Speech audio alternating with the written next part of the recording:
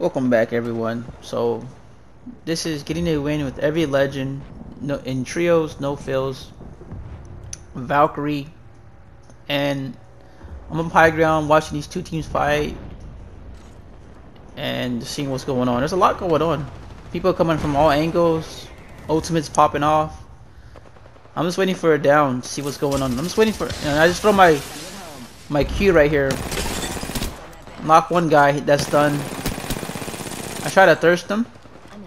I see another one. I'm like, oh man, this guy is so low. That guy had his shot.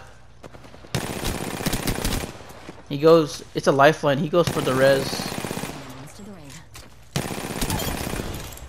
Finish that team. Now it's just me and a Pathfinder. This Pathfinder is pretty cracked, so I'm just gonna be quiet and let y'all watch the 1v1.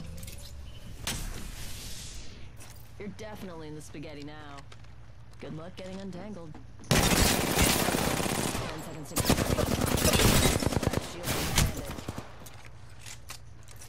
Recharging shield. You're definitely in the spaghetti now. Good luck getting untangled. Final rings closing.